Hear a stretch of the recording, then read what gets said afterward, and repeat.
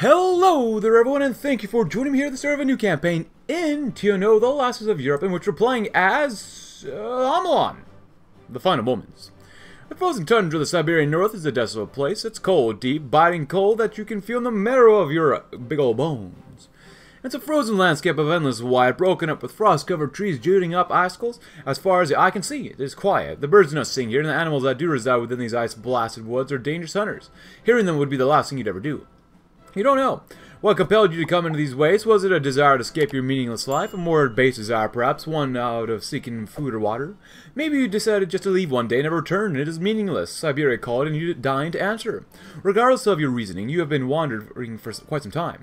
We do not know where you are or how long it has been. All It has all been melded together in your eyes, the landscape seemingly without end. We don't know how long it's been since your water skin has gone dry, or nor how long you've gone without a proper meal. Finally overwhelmed with the burdens of reality, you fall to the ground. Wait, what the F is that? Is that a pony? Investigate closer and learn the truth. Death is preferable to whatever this nut says. Learn the truth in the endless tundra. I'm fleeing Moscow. I escape out of the back as things collapse around the, along the front. I am standing before a bonfire. I burn what few documents I have that identify me. That mark my failure. I am turning away when I see it. The crystal glitters among the flames. I crouch, putting forth a trembling hand, feeling my body warp and transfigure the touch. As pain grips me and reality collapses, I find my shame to dissipate. I realize I know how to save Russia. I have the answer to my country's questions. It is an answer that no one will expect, as I do have a cup of coffee here. And we're just enjoying ourselves with a land of worker-directed uh, economy. Our supplies is looking pretty good. We actually have some growth here in the wasteland, too. Anything else? Max it out, lower that as much as possible. We have terrible credit rating. Debt to GDP ratio is 0%, which is fine by me. Um, and actually we have three factories, or three consumer goods, or production I guess I should really say. Uh, so overall, not bad, not bad. The Metamorphosis. Nikolai Bukharin's first thought was that he was dead. It was not the first time he felt this way. Life since the Great Patriotic War had been one of endless calamities, of loss and suffering. In the year since his secret exile to Siberia, he'd narrowly avoided many deaths. It was only logical that his luck had finally run out, that he'd succumb like so many before him. But if he was dead, why was he so giddy? Why could he still feel the roar of the fire and the gentle touch of snow? Why does his body feel so strange? Bukharin tried to think. He could remember shivering and lighting the bonfire. He could remember the gleam of some rock or gem among the coals, its glow otherworldly. He tried to grab it, to understand only for pain, agony, the sloughing of his skin and warping of bone. He might have screamed too if it was not for the vision. Amid the pain, he'd seen a world unlike he'd ever known. He'd seen a society of creatures, happy and harmonious. Free and equal, unburdened by suffering, they lived together as equals, as allies, as friends. These strange beings, trotting around and dressed in bright technicolor, existed in a society more perfect than any dictatorship of the proletariat could create. Bukharin felt himself giggle in a high-pitched voice he didn't recognize. He opened his enormous eyes and rose on all four of his hooves. He stood there before a smoldering heat until he got sight of the crystal still there among the coals and the strange creature reflected in it. Without understanding why, he exclaimed, Oh boy! Pony. Reports have filtered down from the grapevine from the northernmost communities in Siberia for the region so sparsely populated. News emerging from the region uh, at all is a shock. Even more shocking are the contents of these rumors. Wow, Nikolai looks great. Apparently, the communities of Amalon have been taken over by a talking horse, and not just any horse, but a unicorn. They claim the creature leads a government preaching communism and harmony, and the stallion claims to be named Nikolai Bukharin. Several experts on Russian affairs have chalked it up to mass hysteria, but locals claim it's all the truth. The journalist remembers this when paper this when this paper was a reputable news source. Yeah, right, I'll believe it when I see it. Wow. Friendship is magic. Portrait by neither, from the Equestria War Team. And if you didn't know, this is the uh, Easter egg, basically path for Old World Blues. Not Old World Blues. Why say Old World Blues? Equestria War and TNO, when they did their thing, so awesome. A pink wind in the far north. Sure, I'll look a little different. After having my entire being warped in ways that are impossible to conceive, I think differently too. It's not all bad though. In this form, I feel a new energy coursing through me. I'm more determined than ever to help every pony in Russia, no matter how loud they scream or how fast they run away when they see me. The man they knew as Bukharin is dead. From the ashes of his failure, the stallion Bukharin rises. I will wrest victory from the talons of defeat. I will bring harmony to all the poor uh, trod upon peoples of the former Soviet Union. The world will soon see what Russians can accomplish when we work together. And add an infant ideology. Oh, that does not look good. Rally the old guard, convincing new leaders. Ooh. Let's try that one. Rally the old guard. And the vanishing part of my mind that still remembers what it was like to be a man, I sometimes remember my great friends in the Presidium, Molotov, Rykov, Tomsky. We thought we'd figured out everything in those days. We figured we could use a revolutionary vanguard party to provide the working classes with a political consciousness that needed to dispose capitalism. Turns out that's all bunk. What you need for the successful overthrow of capitalism is not Leninist revolutionary leadership, but friendship. Lots of friendship. It's essential that I track down my closest surviving allies and tell them of this fact to demonstrate the newest evolution of Marxist thinking. The skeptics might call us dev deviationists, but will show harmonic communism is a future. Huh. communism, socialism, social democracy, and look a gift horse in the mouth. When Anatoly, a young researcher working with his fellow colleagues in the area to, to do what little he could to keep the light of science alive in the Russian anarchy, went out to hunt for food to put on for put on his table for the night, it had been sunny and clear. When he got hold of the food, it was cloudy. Anatoly dismissed the clouds, thinking that there was nothing likely to come of it. How wrong he was. Out of nowhere it began snow. First came down like the stereotypical pictures of Winter Wonderland. Then it came down harder and harder and harder. Eventually, Anatoly was lost. He struggled through the storm, clutching his rucksack close to him, but was unable to find any landmark. The minutes wore on, became hours, and he increasingly lost the will to continue. Perhaps, perhaps it would just be better to give in. Just as Anatoly was about to collapse, a mysterious figure appeared in front of him. Its voice concerned, it ushered him to a house that had slowly emerged out of the snow as he walked around it, or towards it, warmed up with a cup of coffee or a cup of soup in his hands. Anatoly shook his head and looked at the figure most closely. Excuse me, more clear closely. Wait a thrice darn moment. That wasn't human, it was a talking horse, pony. Said something, said some talking horse was sent out for a meal for him and his guest. He said, spinning. Wait a moment. He knew that face from somewhere. Was it Bukharin? Nikolai Ivanovich? Bukharin turned once more, smiled, and did a mock bow. Yes, comrade in the flesh. Convinced anew. But I cannot rely just on the old communist pals, can I? No, I need wonderful new friends. I need every pony working together to create a fantastic new future for Russia. Without people's working together, anything is possible. That's the power of harmony, after all. I'll gallop to each village in the Far East to try to convince as many people as I can to embrace my new message of friendship and community. While many will be distracted by my new visage and skeptical that their problems can be resolved by banal platitudes about teamwork. I know I can win them over. I'll convince them that this is not just my story, but theirs as well. With love. Alexei Rykov scanned through the contents of the letter in front of him endlessly. Joy he had not known since what felt like an eternity coursed through his veins when the letter had first arrived. After all, it was a letter from his old friend Buck or Bukharin, whom he had not heard of in decades. Yet, as he kept reading it through, a sense of eeriness descended upon him as a bizarre discrepancy revealed itself. The name Bukharin was spelled Buckharin, and both the letter's address and sign-off, an unintended mistake it could very possibly be. But Rykov couldn't fathom the idea that the paramount leader of the USSR could somehow misspell his very own name twice, no matter how, he the, how heavy the toll age takes on him could be. Was this also some sort of twisted joke? A cruel mockery of an old man and his desire to reconnect with a long-lost friend? No, no, no, no, it couldn't possibly be. The letter described the dearest moments of their friendship as in vivid detail, details only Rykov and Bukharin could know. He sat on his couch, veering on the edge of tears. The day had passed since the letter's arrival, but poor Rykov remained ever confused. All of a sudden, the faintest sound of thumping could be heard from the front door. Rykov hesitantly approached the door, wondering who could be the person making such a ruckus at this late an hour. Was it the knocking he had jumped to hear once again, the anticipated arrival of his elusive comrade. He crept the door slightly open, getting a glance at the indecipherable silhouette standing behind it. He opened the door further. Suddenly he recoiled back. To his shock and utter horror, was stood in front of him, despite having the distinguishable facial features of his old friend Nikolai Bukharin. He was not human, but rather it was he, or it was a pony. What's wrong, Rykov? You look like you've seen a ghost. And the first All-Ponies Congress. Somehow, someway, I've done it. I've assembled a large group of people who believe in me and in the vision of the future that I've envisioned. I finally have enough people to begin working towards bringing harmony to the Russian anarchy. However, friendly conversations and long trots through the snow can only do so much. How many structures and institutions help me carry out my vision for Russia? I sound that a call for the formation of the new governing body, the first All Ponies Congress of the Harmonious Union. It's a lofty name for a lofty dream, and we'll use need and we'll need work hard to live up to its title. Use of crystals, utilization of the pony crystals, nice. Daily political power gain, not bad. Daily uh, time sport, the address. They arrived from across Russia to Amalon. Some had given up years of service for Yagoda. Others had traversed from as far as Sverdlovsk. They have given up families and homes and careers for the delusional hope that Chairman of the Council of People's Commissars Nikolai Bukharin had returned to restore the Union. Then Bukharin had turned out to be some kind of deformed horse. Comrade, shouted the four-legged beast, his Budenovka crooked over what appears to be harm. The revolutionary ideals cannot enter the state. To overcoming capitalist predation means embodying Marx's ideals in our everyday lives and our relationships. We must be vanguards in a revolution of friendship. There was silence across the room as one of the one-time Soviet leader finished. Then, in a harsh whisper, one of the communist travelers whispered, "This, this can't possibly be serious, can it?" There was another pause. I don't know, Elena. Engels did write about the bourgeois and the proletarian household. I suppose it's sensible for us to be aware of exploitation in all human relate. And friendship? You hear the talking horse about friendship, correct? Elena Panova looked around the room, alarmed at the number of people nodding along and echoing the horse's points. We're sure that thing is Nikolai Bukharin? Her companion shrugged. He could be a little green man for all I care. I've never been one to follow the crowd, but if he has ideas on how to save the Soviet Union, he watches a horse horseman mingled with his audiences. I'm willing to give him a chance. But a talking horse? Uh, is anything we want to do here? It's been a while since I played TNO at the time of this recording, so Uh, production needs would be pretty nice, but we have enough for now. Getting actually, yeah, it'd be good to get that one. Mm, that's pretty good too, but infrastructure. Um, you know what? Grab one. We'll see what we can do. If we get another production unit, I'll be happy with that. As this coffee's still pretty darn hot. At least we get some growth. Of course, there's not very much growth, and even then, we don't have very much GDP, so there's not much we can do. But hey, at least we get more research facilities, right? I love this portrait so much. It's so good. It's just so good. Who do we have here?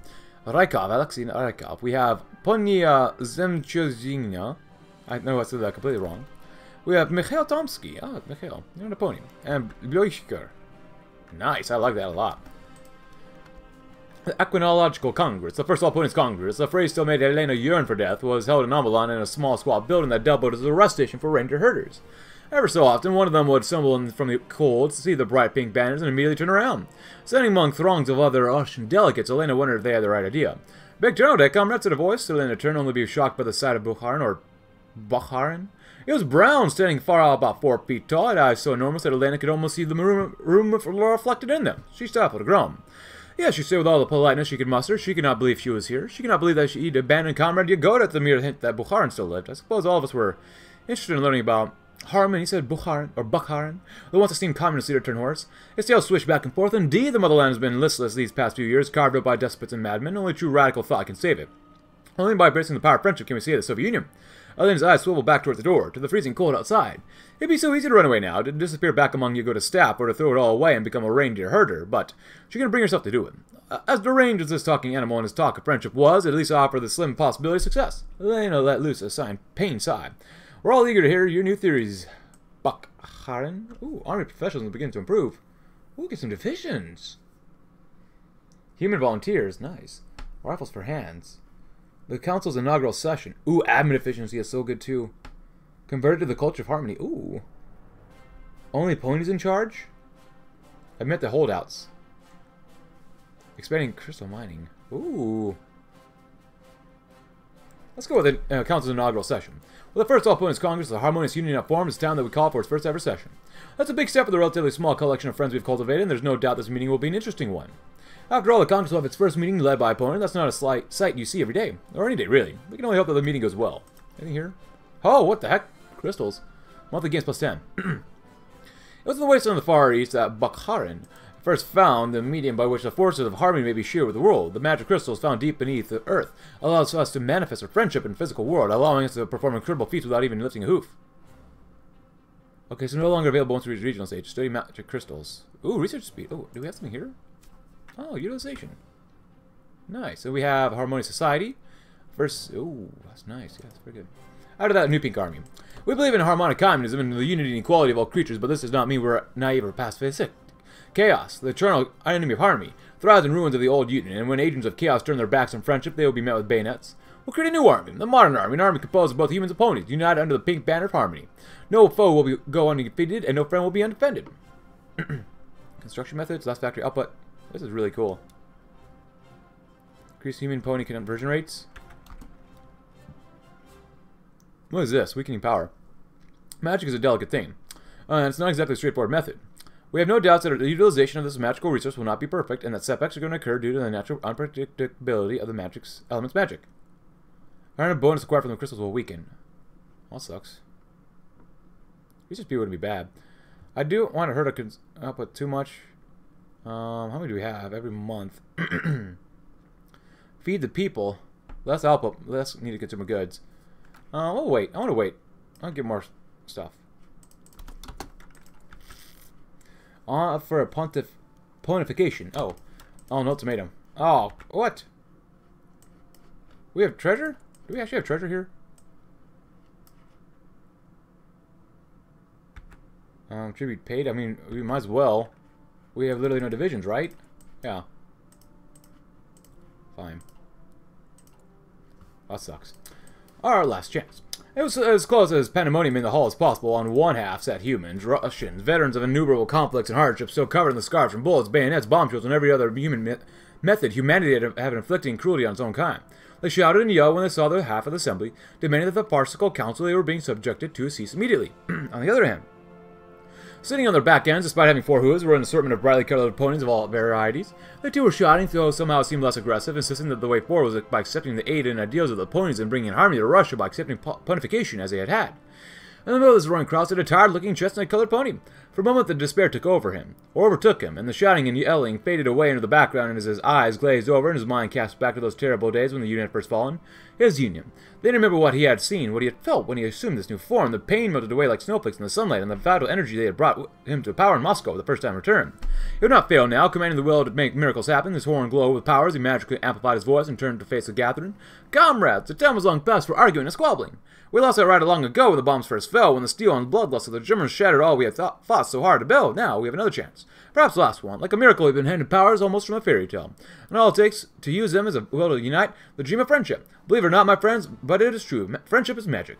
And this would be the magic that finally saves Russia, perhaps the whole world. The hall fell silent. Well, then one by one the humans stood and saluted. It didn't matter if it was one called Bukharin or Buckharin, or nothing at all. He was their leader and a miracle he returned to them. All that is left is to believe. Let's at least get a few divisions. The physical differences between ponies and humans would make grouping them in the same unit in inadvisable. Instead, for our new pony volunteers, we shall create the pony brigades. These soldiers will be the elite backbone of the Pink Army and will be able to move faster and fight harder than any of their human contemporaries. We get equine rifles, huh? So three divisions, but it's better than nothing. How many do we have? 85, not bad. Up army recruitment, feed the people. I want more output. That's the first one we're going to get. New Pink Army. Planification. The new army. Nikolai Bukharin really hated this? No? Really? Conflict with the wider world was certainly at this rate. It was to be expected when the wider world announced to three or more different types of imperialists. Some kind of would-be emperor from the farthest ocean, a guy that thought Russians were somehow master race, and a guy who worshipped pragmatism as if it was a god. Dmitry Nikolai had to like it. the world's problems could be solved easily if people just sat down and talked with one another for once. It worked well enough for Nikolai to re-establish order in the Northwest, after, after all, but alas, sometimes people were simply unwilling to talk. So with no other choice, Bukharin signed the decree, and had it sent to the Politburo for the signatures. They agreed on it and sent it back to him, at which point he ordered it disseminated. The next day, the people of the Harmonious Union, humans and ponies alike, awoke to messages indicating the creation of the armed forces of the Harmonious Union, or as it would be called more colloquially, the New Pink Army. Hmm. Communism. Spreading the word of utopian ideal. I kind of want to get all that stuff. Interspecies relations or cooperation. More attack is nice. Ooh, I want more army professionalism. What is this over here? Anything here? More centralized. More weekly game by month. Alternative uses. Ooh, get research though. Um, I want expanding the uh, crystal mines. There's one miraculous object that lies at the heart of our recreation of society: crystals. There was a time when no living creature on this planet knew the deposit of this precious object that dot the landscape of northern Siberia. With the coming of our brave leader Buck Bukharin, so too came the availability, or the ability to find these countless crystal veins, just waiting to be extracted and put to work in shaping the new world he envisions. However, we must first consolidate what we already have on hoof. All of our current crystals come from a single site, which holds much more potential than we are getting out of it right now. Must be expanded as all All Congress has ordered. First drill. After the drill instructor had completed his customary walk through the two rows of necks of new recruits, standing sharply at attention, he was uncharacteristically speechless. Normally at this point, he would begin isolating those that were weak, vacillating, vacillating, vacillating, or otherwise seemed unsure what they were doing and gave them an enemy to hate and a reason to be motivated. However, how are we supposed to do such a thing with talking pastoral horses for all he knew? They might be trample on him.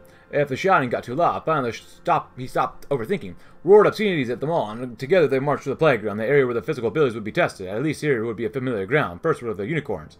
They lost their breath running around the field within ten minutes, but when it came time to test their marksmanship, they'd almost all crack shots. More importantly, they'd held the guns aloft with glowing magic, which they could also use to lift heavy equipment. Vault themselves over the climbing wall and a whole host of other things. As it carried on, the drill instructor noted every detail, detail observed and began mentally drafting the combat roles they'd be perfect for. Next were the Pegasi. With wings running around the course was irrelevant, so instead he did the most promising unicorn levitate several hoops, and made them fly increasingly complex or complicated maneuvers until they collapsed with exhaustion, living planes perfect for paratroopers carrying supplies to the front and recon. Finally came the bulk of the recruits who had been waiting nervously and watching. Earth ponies, no special abilities that were immediately apparent, but clearly built differently as they continued marching, climbing, digging, and training continuously, with no breaks until the sun began to set, and all they could do was do more. He sat back in his office, enjoying the quiet moments that once the day's training had concluded. The drill instructor realized that he had been given the perfect material to make an army with, and by God, he would make the best darn army either the world has, even, has ever seen. And I appreciate that he would capitalize the G in God. Pavel? There's Ildoni. Nice. Very nice. Now if anyone wants to try to attack us, we'll be fine, right? We'll be fine. So if we don't do anything for the first couple days, do we get penalized? Hopefully not. Search new crystals? Our sources. Now that station of crystals enters our warehouses and caches on a daily basis, it's time to look into expanding the requisitioning of these integral gems. Some of the engineers that have stumbled upon recent or nascent in civilization of magic crack or craft devices out of crystals able to track down new veins. All these devices require some someone, or some pony, to carry them through the harsh forest, hills, and tundra of the Siberian expanse. So while the All Ponies Congress commissioned the Crystal, crystal Tracking Divisions, small groups composed of the most experienced hunters and trackers the North has yet to offer, we sent out into the desolation of Siberia to locate crystals and call on mining teams to begin excavation. We need these resources to weather the coming storm. That's excellent. Send workers to mines? Why not? I want to get that monthly game by 20. With the creation and expansion of crystal mines well underway, our foremen were tasked with figuring out how to streamline the excavation sites as much as possible. After trying nearly every other potential situation or solution, they have unanimously reported the greatest choke point in the relocation of crystalline material is simply the amount of pony power assigned to the chain of production. They don't have enough. Thankfully, we do not lack ponies the available hooves, as it is absolutely critical that we have as many crystals as possible. As soon as possible, we must reallocate the many ponies and jobs demanded or deemed less important to the mines. With these crystals, our brethren suffering to the south shall be free to work comrades magical friendship, and the sparkling bounty. The sounds of metal striking crystal and work boots clinking against the crystalline floors filled the minds, creating a strangely intimate environment, all alien though they were to Vel's ears. As he surveyed the newly created chamber, from which crystal returns were even higher than in other parts of the mining complex, he heard a new sound. The louder click of hooves on the crystal that signaled an unequipped pony walking up to the side. How goes excavation, Pavel? Vladimir asked. Coming to a stop at Pavel's shoulder. The Congress wants and needs to go smoothly. Vladimir had been a childhood friend of Pavel's, and now he was one of the top-ranking ponies working in the mines. The two got to collaborate extensively on the job, while Pavel couldn't say that he thought that ponification was wholly normal yet. His friend was still his friend, no matter what form he took.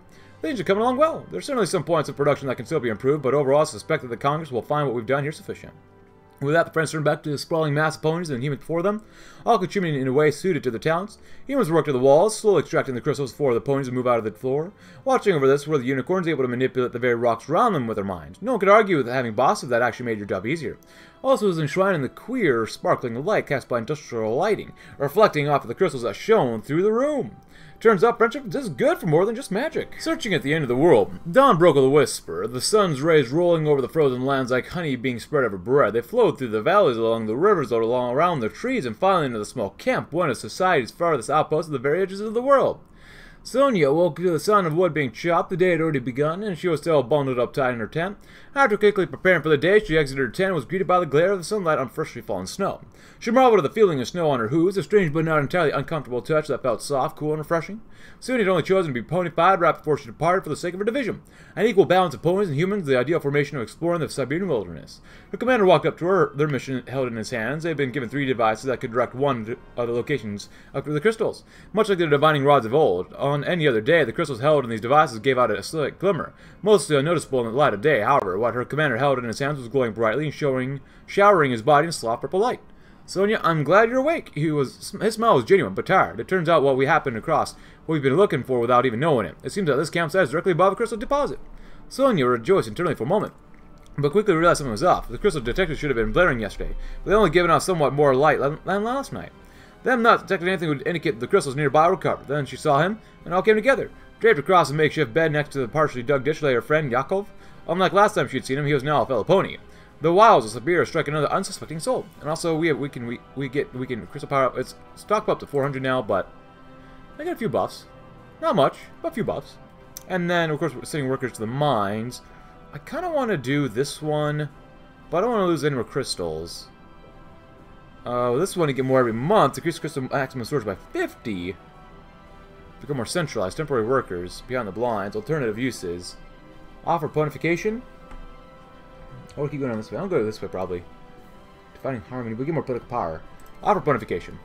Buck will be offering something very special to the people of Russia. After experiencing what those miraculous crystals could do, it became clear to him what we must do. We must spread this gift to the rest of Russia. We must give the people a chance to shed their mortal forms and ascend to the forms of ponies instead, to abandon the dreary world of pain and hate, and embrace the magical future that lies ahead of them to show them the true power of friendship. A different breed of workers. The rumbling of engines and plumes of dust filled the early morning air. Pulling, trucks pulling out of the yard and onto the road piled high with mining equipment and the men and women who were using it. Well, men and men, women, and ponies. That last group was more than a little off-putting to Maxime, who had already been working in the mines of Siberia for most of his life. He already felt overwhelmed by the integration of ponies into everyday society. Now, he had learned of his first job under the new Northwestern government, Siberian government, of course, was to work in a newly discovered crystal mine alongside these, these ponies. Thus, he found himself squeezed between two strange creatures after hop hopping in a truck destined for the mines. As the truck began rattling along the dirt roads, it was quiet as, as a tomb, the only sounds made by the vehicle and the occasional shuffling of men ponies. Eventually, the silence was broken by one of the younger men, who had yet to work on large-scale projects like this. He raised a hand of technique, or question of technique, which Maxime was well versed in, but as he opened his mouth to answer the pony beside him, spoke up. It turns out that he had misjudged the ponies, both in age and experience. The one to his right was an old hand in the business and had volunteered to be ponified to help the streamlining of interspecies operation. This one to his left was a veteran of the Second West Russian War, and after being put on the being one of the first turn, he was one of the few security person uh, tasked this project.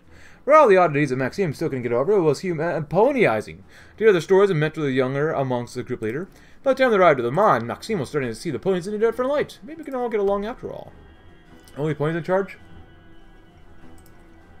Admit the holdouts? I do want to admit the holdouts, but I don't want to do political power. Only ponies in charge. I want to do that one so badly. Only ponies can truly grasp what it means to be in harmony. Only ponies can even understand the concept of harmony, and only they can see it fulfilled to its fullest extent. Despite these already established facts, many positions of power in the land under our administration remain in the hands of humans. That's of course unacceptable, for our nation can only prosper if it follows the tenets of harmony. As such, all administrative positions are to be granted only to ponies and ponies alone, while all humans currently habitated, or habitating said positions will be removed from effective removed from them effective immediately, the sake of our collective prosperity. Defining harmony. The next item for the Congress to discuss is an important and foundational concern. What exactly is harmony? What are its tenets? What are its goals? When you fight for harmony, what, well, what is it you're fighting for? Conrad Buckhart has ideas in this regard, but he hasn't set yet down to codify the exact ideas at play here. The Congress will begin defining harmony as an ideal so that we can move toward forward under its banner. How do we have right now? 21? Not much. That's fine. More power grids. Let's get... Oh, power grids will actually be pretty good, probably. Let's get that one. A new form. Magic shone like nothing else in this world, glittering and glistening like something alive.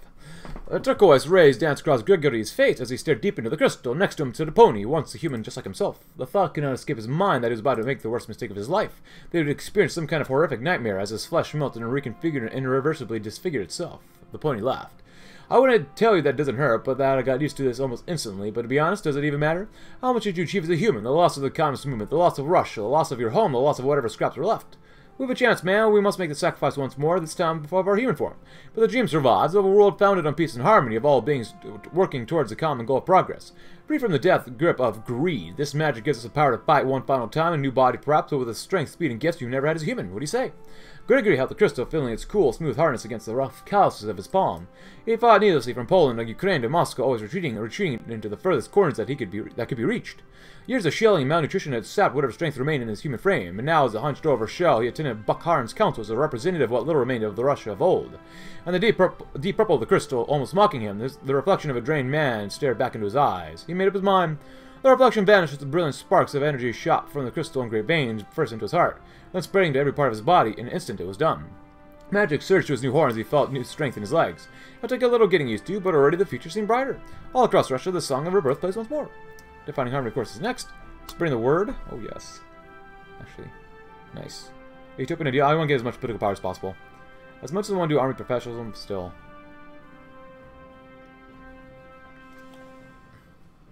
Only ponies in charge, my friends.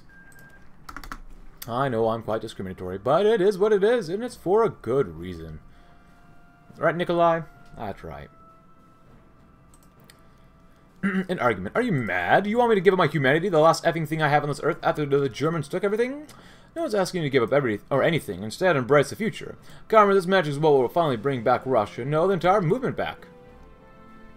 In front of a large purple crystal, a pony and a human shouted loudly. An old woman walked past, registering emotionlessly how absurd the scene was.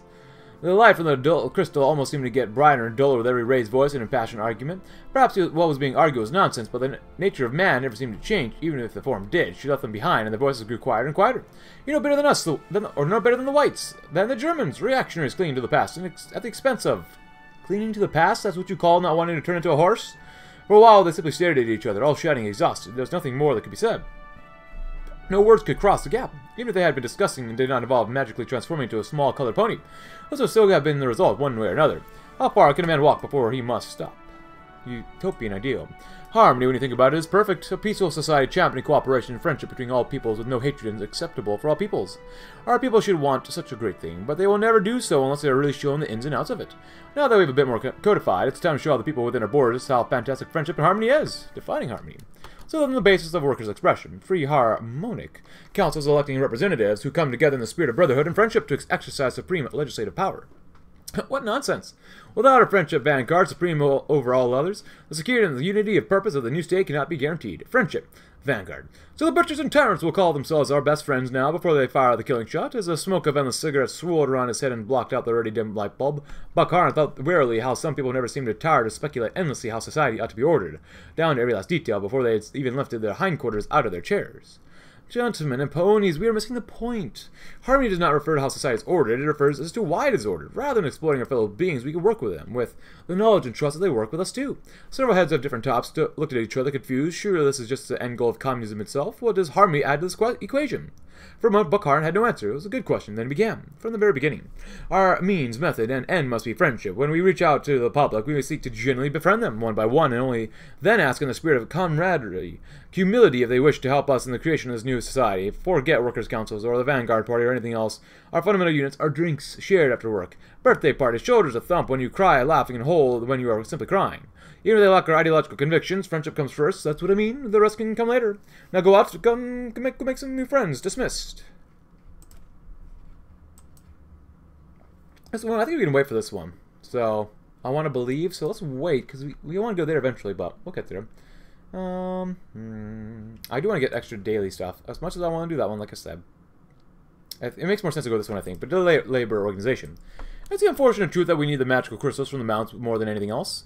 And if we're to be busy with things such as labor organization, or crystal production may tank. Someday we'll have all the crystals we want, and we'll be able to organize a proletariat.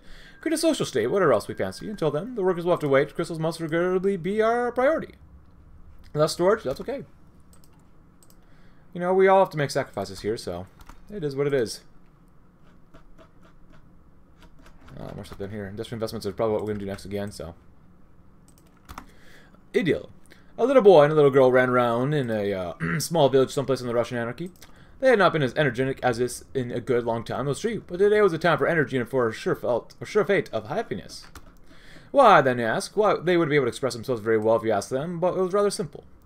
Because the parents were happy for the first time in a long time. No more were their faces long with sadness, nor their brows furrowed with worry. They were more cheerful than they had been for as far back as their kids could remember, actually. There were other reasons to be happy, too. They're eating food again like normal people who were supposed to. They hadn't gone to sleep hungry last night, nor the days before. The little boy and girl were simply too young to understand what was happening. If one were to ask them about ponies, they would only speak of small horses and books, but they were happy nonetheless. They kept gambling about as all children should. Gamboling. Uh, construction speed, output. Uh, Kind of like that one. Need to consume goods goes down, but whatever. Alternative uses. Crystals, crystals, crystals. They already do so much. They transform us into these incredible stallion forms far stronger than ever before. They give us magical powers. Powers which humanity has begged for millennia. Yet there must be more. Our scientists must look further into the crystals, discover their every facet in order to be certain that we've truly tapped their power. Only once we've uncovered the true power of these crystals can we empower a world of harmony. Temporary workers. Uh, let's see, let's get 75 here. Another production unit. Most mornings, overseer preferred to spend the day with coffee and newspaper. Today was different, though.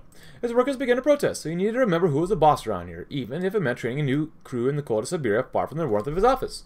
The crew only needed a few hours of preparation. Frankly, the work was more of a brain than a brawl. Especially given the bright glimmer of the crystals, the only hiccup was morale. With protests raging in the center of the mining encampment, there was no way to avoid the nature of the work. The overseer could only call these men temporary workers for so long, and these men were scabs, and the protests raging, they certainly knew it. By the time the new crew was ready to enter the mines, most accepted the place. Only one nervous worker stayed behind, suddenly struck with a pang of guilt. In a brief moment of defiance, he turned to his boss. What stops us from joining the protesters? Confused, the overseer took a moment to answer. Nothing really, though. They probably hate you for the scab work. I just, I'll just find some more workers. Up north, there's a lot of you, not many of me. Remember that before you ask another stupid question. The stallion stared at his new boss in disbelief. The overseer simply pointed at the mine shaft. Now get to work. Rifles for hooves. The pointed brigade may be low and true to our cause, but without rifles they have limited combat effectiveness. We must begin to produce weapons so the brigades may demonstrate the righteousness of the harmonic communism to those who do not yet believe. Some party members have expressed concern that opponents cannot hold rifles, but they'll soon discover through the power of friendship anything is, of course, possible? Equine. Oh, we have equine stuff. Whoops, forgot about that.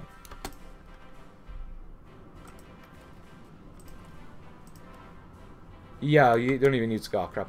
We've been doing the wrong stuff the entire time. I don't expect a visitor. Uh, Circle's not sure why Ivan had been decided to rent a village barn two villages north of cold as heck was a perfect place to stay around with a magical crystal. It certainly wasn't sterile, as it was an extreme, annoyingly long drive away from Sergei's home. At least Lexi brought vodka, and lots of it, so they could at least have some fun while they contracted frostbite. I'm gonna shoot it with my gun, said Ivan as he stumbled about, flashing, fishing for a pistol in his back pocket. Yeah, wait, what? Sergei barely attempted to question what was happening as a gunshot rang out and a bright flash illuminated the barn. When Sergei could see again, he saw the crystal was gone. And This place was not was appeared to be a floating, glowing ring. The ring acted as a window, showing a view of an entirely different setting from the small barn the group of scientists sat in. Uh, then a thing flew, th flew through the portal. It was shaped like an orb, with two pairs of wings and four legs. It had a large compound eyes like an insect, and the glowing ring disappeared with a small plop sound. After several minutes of screaming, crying, and drunken shooting, Alexei managed to get it trapped in the crate of vodka they'd emptied out. Ivan summed up everyone's thoughts pretty succinctly once they had all calmed down. What the F was that? I don't know, but whatever it is, enough from Earth, replied Sergei. All he knew was that they definitely had to try this again back home, in the lab. Maybe Cameron Buckharin will like it. Human volunteers? Yes. It turns out that a great deal of humans are interested in the ponies, even fascinated by them. Primarily young men, outcasts of society, these figures even go as far as ranking their favorite ponies and wearing clothes that demonstrate their support for ponykind. These men may not be the cream of the crop, but they are fit for the battlefield. We should teach them how to hold a weapon. We should teach them the tenets of Arctic warfare. We'll train them in matters of hygiene and fitness soon. These humans will be fit to join the harmonious union, and you will be that much stronger for it. Which is a good thing. So what's going to be weakened here? Ooh, construction speed went down.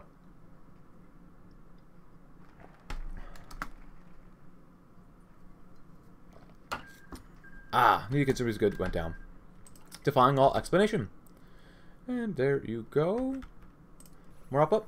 The bespectacled man sighed heavily before looking up from his clipboard, so Comrade Blanket, could you please pick up that pen on the desk in front of you?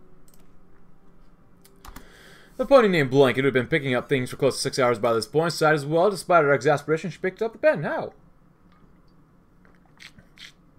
I don't even have fingers. This should be impossible. Blanket put the pen down. One of the scientists was curled up on the lab floor, sobbing about something involving his PhD in physics. That wasn't even the worst breakdown she had seen in the last hour. Comrade Blanket, how, how, what, how? I'm sorry, Cameron, I really don't know how it works. I just pick up things without really thinking about it, and it just happens. She replied a line she had already memorized five hours ago. This explanation did not satisfy the scientist. One man snapped his clipboard over his knee and left the room. She sighed as another group of scientists rushed into the room, asking why everyone was freaking out so much. She knew that she was going to be here all night. Can you pick up those pencil, this pencil again, but this time think about it? Rifles for hands. Guns for ponies? That's a difficult question. Guns for humans, on the other hand, are simple. Humans make up half our population, and the same is true with the armed forces. They also have fingers and thumbs. With all previously existing designs for the guns entirely, designed around this fact. Producing guns for humans can be an easy backup besides pony weaponry. How ponies are capable of holding objects with their hands is something we dare not try to explain. Nevertheless, we must pr produce guns for humans.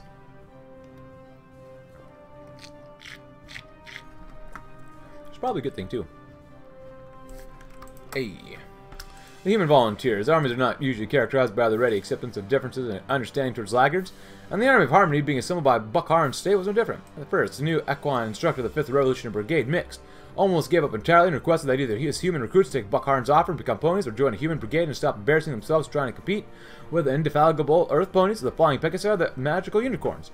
But then he waited and watched. Even as the ponies laughed, the humans marched on. They've been determined to keep their form, and they could not let, let them hold back. Slowly, bit by bit, the humans first began catching up to the Earth ponies, but then matching their pace. They could not. When they could not, they still ran until they collapsed, and then their comrades stopped and carried them to the finish line. Finally struck the ponies, their goal was not just to join the army and become a purely military unit. It was to become a unit of harmony, and if these men were not following its ideals in the truest sense, then who was?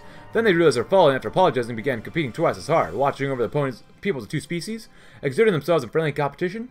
But Watching off each other's backs, the instructor realized what a truly magical brigade he had had had the good fortune to be training. The harmony, the army of harmony, takes shape.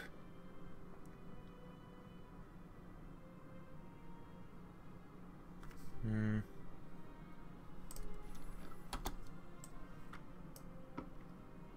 I'll go external investments. Why not?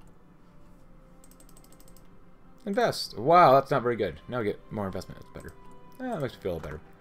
Interspecies cooperation. Harmony leagues beyond human comprehension with its magical. In both the figurative and literal senses of the word, allured, undecipherable to them, nevertheless, interspecies cooperation remains a core tenet of harmony. As the specter of fascism continues to linger near us, this necessity of pony-human cooperation in the face of reactionary aggression grows ever more vital. After all, how can a society claim to be one with harmony if its people that can constitute it do not live together harmoniously? Scrap together. This is Jezail. Artemy tired mutteredly, or tiredly muttered. First he had spoken since uh, training or started. Since started. Since starting. Daniel blinked, realizing he was the only one within earshot, nonchalantly leaned closer to his compatriot to respond. Uh, what? The two soldiers had been sent to collect uh, to weapons being donated to the army. Producing weaponry was a challenge in the Siberian way, so scrounging up any existing weapons wasn't a bad idea, surely. This logic lasted right up until they saw the actual armaments of the villages that he had gotten together. What armaments they were. Among the motley crew of guns, there was an extremely rusty PPSH that immediately split into two upon inspection, and was in a gun with both barrels and a stock sawn off. Which wasn't so bad until you realized whoever done it had a shoddy job and left a sharp torn barrel and a splintery stock for the user, multiple disused Fedorov Avtomats. Surely for the 20th Civil War, an RPD, no sorry, an AK-47 which has multiple bits of wood and metal nailed and welded to it and sort of looked like an RPD, and then the prize of the piece was a long wooden rifle that Artemy was holding called a Jezail. Afghani tribesmen use them against the British. It's a darn musket, Artemy uh, tersely spoke as he scanned the broomstick handle dressed as a gun. Daniel nervously rubbed the back of his neck under the observant eyes of the villagers, trying to find a pos uh, posture, a positive. Well, does it, mm, does it shoot? Daniel's question caused Artemy to pause in examination. Then proceeding to grab up the ammo, gunpowder, and a ball, and load the weapon. Without warning, he took aim at a nearby tree and fire, and it did so with a large black puff of smoke and a thunder crack. As the smoke cleared, it was clear it hit the target dead on. Artemy took a deep breath and turned to the face villagers. We'll take him. That first trial. In our journey to bring about a revolution of harmony in this broken land of Russia, we need one thing above all, a strong, competent land force to defend against the various enemies of harmony throughout the world. Recently, we've managed to assemble a force of troops devoted to a cause. However, one large question mark is whether they are any good. Fortunately for us, we have an easy testing sample we can deploy our troops against. A lot of bog standard bandits running wild, looting all over the north of the Far East. Let's send in the Army of Harmony and give them a proper baptism of fire using the experience gained for the future fights to bring about the harmonious Wonder Union. Yeah, that sounds like a good thing. How's the economy doing? Real growth. Inflation's all over the place, though. Oh boy. So we already maxed this out too, so. Nice. The drill. Alright, everyone, said Lieutenant Alina uh, Valukova whispered across the radio, I want the humans to flank left and ponies up the middle, move out and take the hill. Cadet Genrik nodded in assent as did the creatures around him, human and pony like. The 5th Revolutionary Brigade was one of the first units of the Pink Army to be made up of both species living in the Union. As such, Genrik felt as if there was duty to prove that harmony could triumph even at war. Moving out Genrik and the two other ponies, both unicorns, stalking their way through the underbrush. Hearing a rustle ahead, he raised a hoof calling to halt, cautiously raising the pellet gun into the air.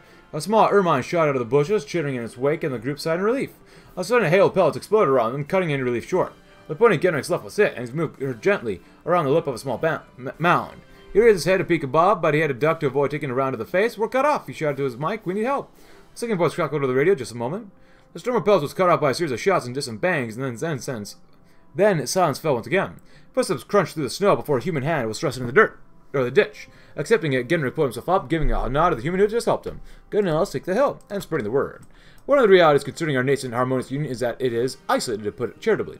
While we've been securing our fledgling state, there aren't very many people outside of it who know about us or what we stand for. It's about time we rectified that. As nobody's going to fight by our side, they don't know what our side is. We'll send people out to spread the word of our movement immediately. But we won't get anywhere if there's next no one prepared to champion it. Man, there's a lot of lag, ain't there? Yes, sir. Political campaigns. Uh, that's possible. Oh, academic basic begins to slowly improve. Well, might as well do that one. And the first trial. Load them up, boys, and don't take any women, any of the women you think they're worth it. So cried the bandit captain, pointing an old, worn-out Mosin at the cowering man beside him. Uh, behind him, a man burst into each house, ran, ransacking the place for anything that might be of value. The women folk of the village had all huddled in the center palace, holding each other for warmth and uh, uh, support and comfort. Then, from the skies dropped three ponies with wings. Pegasi launched from the ground like bullets and sped around the bandits, confusing them. Shots rang. From the forest, causing the captain, in a fit of rage, fire a shot at the man he had been aiming at, before a shot found its mark, he was suspended in midair, surrounded by a glowing aura. Magic. With a surround like endless thunderclaps, earth ponies rushed out of the trees, firing accurately at the bandits. Just behind them were humans, wearing the uniform of the Harmonious Union, charging at the devils with bayonets or helping the villagers escape. It was all over in less than ten minutes. Those bandits not yet immediately dropped to the ground and soiled their pants, rushed back into the forest, dropping everything they had looted in their haste. The villagers were safe, and as they celebrated, hugging the soldiers regardless of species, the men and ponies of the Harmonic army thought ahead. There would be many more battles, most definitely harder than this, but this was surely their vic first victory. And a beacon in the north. After much hard work and dedication, we've done it. The Siberian Wastes, which have spent years under no authority whatsoever after the collapse of the Union and the Anarchy, have arisen once more as the face of the new harmonic movement. Fueled by magic and the power of friendship, our state flourishes as a beacon of harmony in the further north.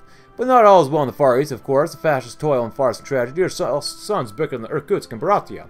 Another still skulk in the bitter cold harmony faces many threats upon its borders, and so it's time for action. I want to believe. I want to believe. What? Artyom's eyes bulged with wide, bulged wide in bewilderment. A horse, you heard me right. Sasha went to correct himself, well, pointing to be precise. It's been years, decades since I heard that name, and now you're telling me that he's back and he's a horse? The barn's is empty except from Artyom and his bartender, Sasha. Everyone else had gone to their stations, working on the grueling hour that they were forced to contend with thanks to the harsh output quotas. Uh, that the fascist government imposed, not Artyomil. He is set on satisfying his curiosity. Why are you pronouncing the way Buk Buckharin? Sasha emphasized, pronouncing it with a hint of English in there. That's what he calls himself. And how are you supposed to know this? Artyom down another shot of vodka. I overheard the guards talking about it. You know it's real when even the RFPs, uh, conscripts are discussing it. They also talked about how this Buckharin is planning to rebuild the old Soviet Union of old. God knows if an effing horse can do such a thing. There was a sounding silence following Sasha's remark, led in the howling of those Siberian winds into the dark room. Without another word, Artyom stood up and walked out of the room, leaving Sasha alone in the dark. Artyom arrived at his home, opening the door. He greeted his wife and daughter and continued, ready to do things we leave at daybreak. I have a story to tell you, but you're going to have to trust me on this one. We're doing okay on everything, pretty much. 44 is not enough, but... Actually, what do we have here? Is it any good yet, or no? Construction's pretty bad. Oof. But we're making some good units, some good things here. Also, we can eventually get these pony main battle tanks which are very strong. Very, very strong. Actually, 14 defense is not that bad. Not, not great. Look at all that lag. Happy 1963 though, everybody. Because you guys have how much defense? 10? You guys have how much defense? 15. So that's actually quite a bit better. Um... Oh, more factory output. Reconnect Soviet power grids. Oh, look at that. For now, we're just poor. Ah, second session of the All Ponies Congress. Would you look at that? It was impossible that this was happening, Elena Pol Panova thought. Either she lost her mind or the reactionary mother had been out right along. Heck, was a real place. Ah, Camarada Panova, it's so good to see you between sessions. And Elena closed her eyes. She Tried her prayers flashed through her brain and she begged for God for anyone to end this. Instead, she opened her eyes to see the creature named Buck Harns hopping towards her. Its bulbous face stretched into a smile. I trust my theories, my contributions to Elena have been to your satisfaction. Elena gazed into the abyss that was the creature's eyes. For weeks, she listened to as Buckharin recited every empty platitudes about friendship. For weeks, she'd watched the creatures uncover materials and weapons that could not exist. The worst part was the transformation. Serious, credible revolutionaries met Buckharin emerged on all fours. Rictus grins on their faces. Unforgettable, Elena heard herself say. The thing wearing Buckharin's face was laughed. I guess that's as good as a start as any, now that we've settled on the revolutionary program. It's super important that we spread the revolution to all peoples of the motherland. With you, I, and the delegates here united as friends, we'll spread harmony across Russia. Others must have been listening to the conversation because Elena became aware of the clopping of hooves and clapping of hands. Buckharin and his hellish legions were celebrating. This can't be real. It can't be real. And looking outwards. Nice. Developing economy early on using crystals. Foundations have been laid, the work has been done, our society of harmony has been created, but it's only, only one of them. One of many. If all Russia is to come together in friendship, we're going to have to start looking beyond the borders and expanding. We'll have a number of neighbors, but the decision's been made that our first stop will be Kamchatka, home of the remnants of the Pacific Fleet. Let's first take our step, first step onwards. And let's end this episode with a painting of the Red Fleet pink. We've achieved far first victory in spreading harmony, as Kamchatka and the battered remains of the Pacific Fleet now lie within our grasp. While we work to properly incorporate them into our state, we'll need to take the bigger step of incorporation. Uh, many, more than anything else, our ways are strange to our new brothers and sisters. They understand very little about harmony, so it's up to them to spread the magic of friendship to them. But I think we'll end it there just because... Please, we could spend more time in the next episode doing this stuff. But if you enjoyed the video, leave a like, subscribe if you're new. Check out my Discord link in the description below, and I will see you tomorrow as we'll continue on with our land of spreading harmony by force. Thanks for watching. Have a great rest of your day.